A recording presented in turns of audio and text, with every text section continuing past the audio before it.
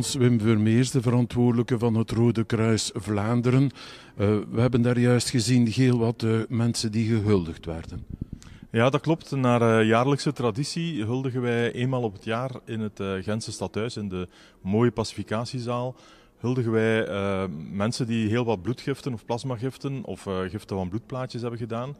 Vandaag was er iemand bij die 800 keer plasma gegeven heeft. Dus dat is 800 keer tijd vrijmaken om eigenlijk naar het donorcentrum te gaan in de Sint-Pieters-Nieuwstraat. Daar de tijd vrijmaken om plasma te geven, terug naar huis te gaan. 800 keer, dat is echt een zeer indrukwekkend getal. Zijn er nog voldoende vrijwilligers, mensen die zich inzetten voor het Rode Kruis? Want het is toch een heel belangrijk en levensbelangrijk iets. Absoluut, er zijn nooit genoeg vrijwilligers. Vandaag hebben we ook iemand gehuldigd die 50 jaar vrijwilliger geweest is. Uh, dat is zeer indrukwekkend, maar wat we merken is dat we ook bij jonge mensen toch wel de boodschap van het Rode Kruis kunnen overbrengen. Dat die ook altijd zeer gemotiveerd zijn om in te stappen. En uh, wat wij dan kunnen bieden is interessant vrijwilligerswerk, waardoor die mensen ook een echte vrijwilligerscarrière bijna kunnen uitbouwen binnen het Rode Kruis. Je bent daar juist gehuldigd voor 50 jaar vrijwilliger bij het Rode Kruis. Dan heb je al heel wat meegemaakt.